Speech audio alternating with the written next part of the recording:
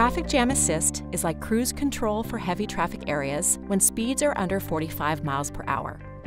By detecting other cars and their speed changes, it can automatically adjust the speed of your vehicle and help maintain lane position. It can even work when traffic comes to a complete stop.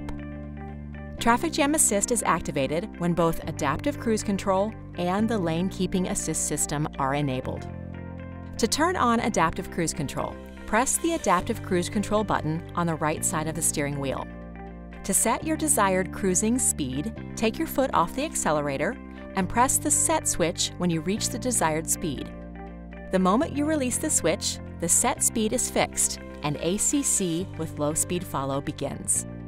Press the following interval switch on the steering wheel as desired.